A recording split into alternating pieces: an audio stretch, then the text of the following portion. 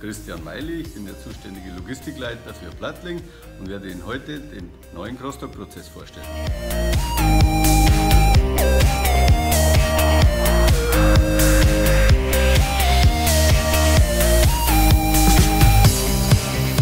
Wir befinden uns hier im Wareneingang, wo wir sämtliche Waren vereinnahmen, die Pakete öffnen, gegen den Lieferschein prüfen und in die Bestellung buchen. In der Vergangenheit haben wir die Waren anschließend nach der Verbuchung ins Kleinteilelager verbracht, wo hier die Einschleusung stattfindet.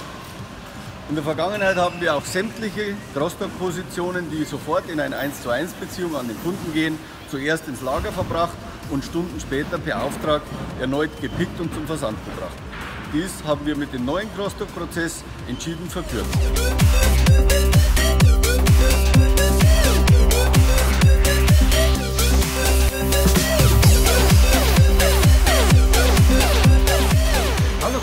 Tag, mein Name ist Katlitz Harald, ich bin der Teamleiter Wareneingang.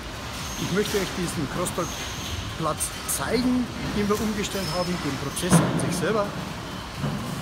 Wir haben hier unseren Booking-Bereich. Hier werden die Crosstalk-Teile gebucht. Wir machen per Etikett und per Schüttung den Prozess fertig, indem wir diesen Schütter dann auf unseren Crosstalk-Platz bringen.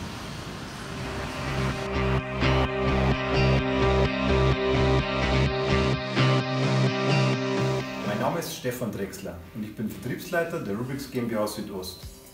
Mit dem neuen Crosstrack-Prozess sind wir in der Lage, Sonderbeschaffungsartikel für unsere Kunden bereits bei der Anlieferung separat zu steuern und priorisiert abzuarbeiten. Sie müssen dann nicht mehr den gesamten Warehouse-Prozess durchlaufen, dadurch verringert sich die Durchlaufzeit und der Kunde bekommt seine Ware schneller. Für uns im Vertrieb und auch für unsere Kunden ein absoluter Mehrwert.